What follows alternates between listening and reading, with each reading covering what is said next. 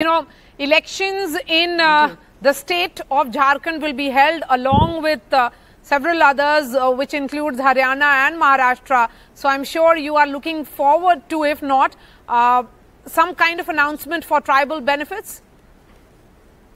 उनके लिए कुछ एक खास बात हो कुछ अनाउंसमेंट हो yes, why not? uh,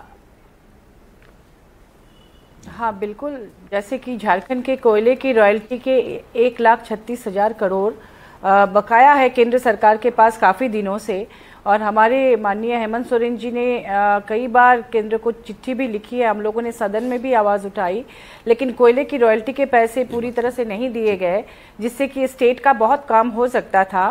और साथ ही आपको पता होगा कि झरिया धनबाद में कोयले के माइंस में कई साल से आग लगा हुआ है।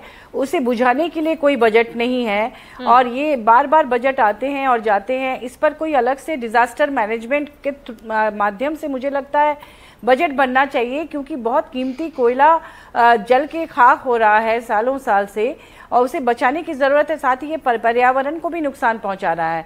तो इसके लिए बजट में कोई प्रावधान हर साल क्यों नहीं बनाया जाता है? आप कोयले की रॉयल्टी के पैसे भी नहीं देंगे, आप जलते हुए कोयले को भी नहीं बचाएँगे। अभी एक नए कोलियरी में, करकट्टा कोलियरी में फिर से आग लगी है, जिस पर हमने सदन में आवाज़ उठाई थी कि इसको अविलंब बुझाया जाए, नहीं तो और ज़्यादा कोयले बर्बाद होंगे। उसे भी ठीक से नहीं बुझाया गया और वो आग फिर से फैल रही है।